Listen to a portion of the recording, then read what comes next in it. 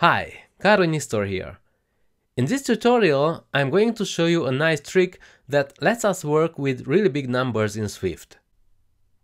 Let's start by implementing a function that calculates the factorial of a positive integer n. The function takes a 64-bit unsigned integer as argument and it also returns this type. This problem can be solved using recursion since the factorial is defined as the product of the integers from 1 to n. The factorial of 1 and 0 is 1, so we return 1 for input smaller than 2. Otherwise, the function returns the product of the input and the result of calling the function with an argument that is smaller by 1. Alright, let's try out our function. And indeed, factorial of 3 is 6. Now let's try it with a bigger number, let's say with 10. Alright, now let's try it with 20.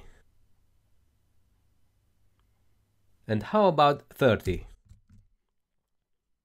Oops, we've got an error. This is because the result would be bigger than the maximum value that can be represented using an unsigned 64-bit integer. I print out unsigned in 64 max to the console. So this is the biggest number that we can represent using a 64-bit unsigned integer.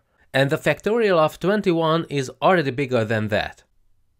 Now, there is no support for big integers in Swift.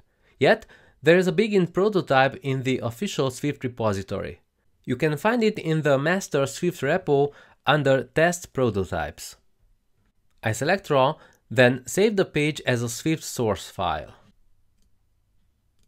Next, I'm going to add it to our playground project. We don't need this import, and I also get rid of the tests, except this type alias.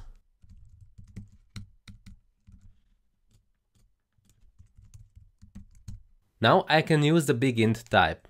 So let's refactor our factorial function.